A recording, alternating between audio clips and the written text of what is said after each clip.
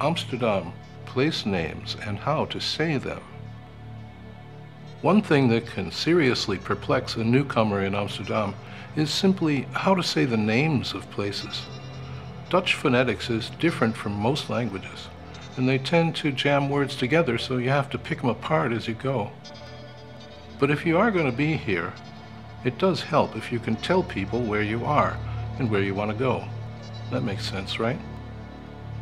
For a taxi, you can call 777-7777, but you need to tell them where to pick you up. In an emergency, you dial 112, but you need to say where the fire is. So I want to show you how to pronounce some of these places. My own pronunciation is pretty flawed, but maybe you'll get the idea. Let's start with some place names in the oldest part of town. This place is called De Dam. De Dam. The Amstel River used to flow right through here, and in the mid-1200s they built a dam to control the flooding. The settlement that grew up around it came to be called Amsterdam. Above and below the dam, they had marinas on the river where people could dock their boats. The lower one was called the Damrak. The upper one was the Rokin. Damrak and the Rokin. These names survive even though there's no dam here anymore and no river either. Today the Amstel just kind of disappears into the network of canals. They also built dikes to keep the water out of the village. Just off the dam you have the Nieuwe Dijk, which today is a shopping street. And here on the other side of town, you have the Zeedijk. Nieuwe Dijk, Zeedijk. Parallel to these dikes, they also built ramparts, or burgwallen, to keep the invaders out once the city started to prosper. There was a back and a front rampart on either side of town. Today they just look like nice canals, and they have totally functional but notoriously tricky names. This one is the Oudezijds Achterburgwal, meaning Old Side's Back Rampart. Oudezijds Achterburgwal. Then there's the Oudezijds Voorburgwal, or Old Side's Front Rampart. Oudezijds Voorburgwal. This area is collectively known as De Wallen, and it's where the main red light district is situated. Back on the new side of town we find the Nieuwe Zijds Voorburgwal, or the new side's front rampart, but this one is no longer a canal. They filled it in to make a traffic artery back in 1884. They also filled in the Nieuwe Zijds Achterburgwal, but this time they didn't even keep the name. They just call it the Spuistraat. Spuistraat. Spuistraat crosses the Raadhuisstraat, so called because it leads to the former Raadhuis, or town hall. Raadhuisstraat. Then Spuistraat ends in a plaza called Het Spui. Het Spui. This used to be a body of water too, but now it's a square with bookstores and cafes and a book market every Friday.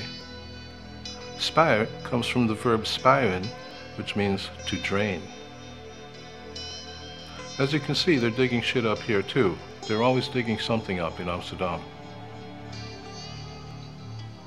In later centuries, the Amsterdammers took to naming streets after politicians and sea captains, resistance heroes, poets, rivers, and even electronic parts.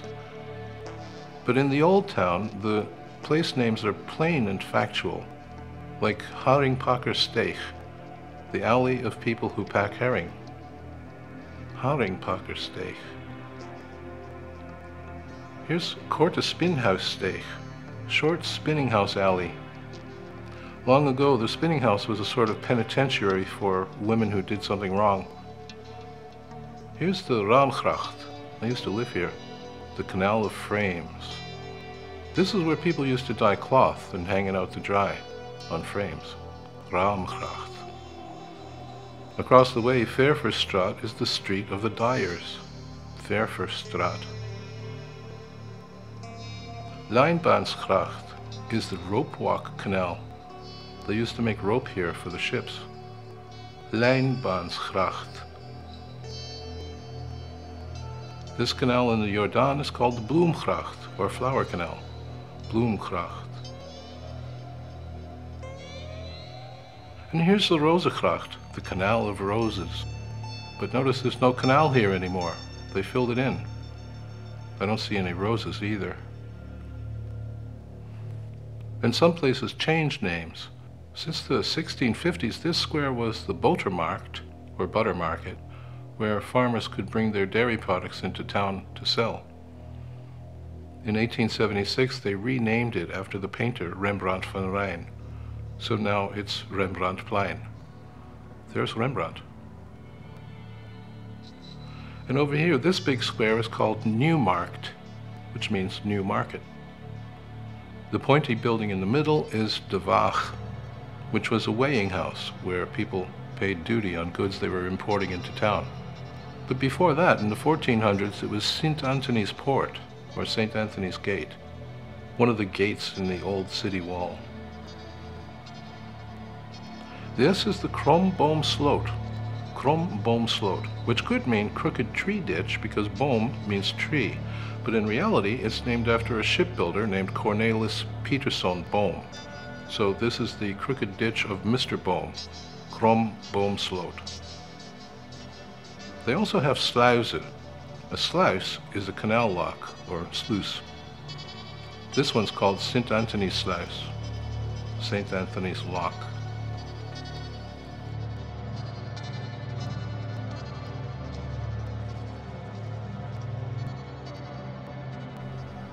Oude Schans is the old entrenchment, also part of the defensive works of the old city. Oude Schans. We tend to think of all these waterways as just canals or grachten. But to the people who built them, this might be a gracht, burgwal, sloot, or schans, depending on its purpose.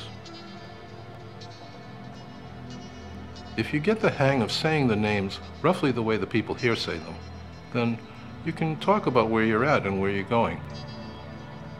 It may sound trivial, but I've really met people who think Leidseplein is Liedesplein, or that Radhuisstraat is Radhuisstraat, or that Spui is Spui. Um, if nobody understands what the hell you're saying, it doesn't help you get where you want to be. So, as you spend time here, just try wrapping your head around these diphthongs.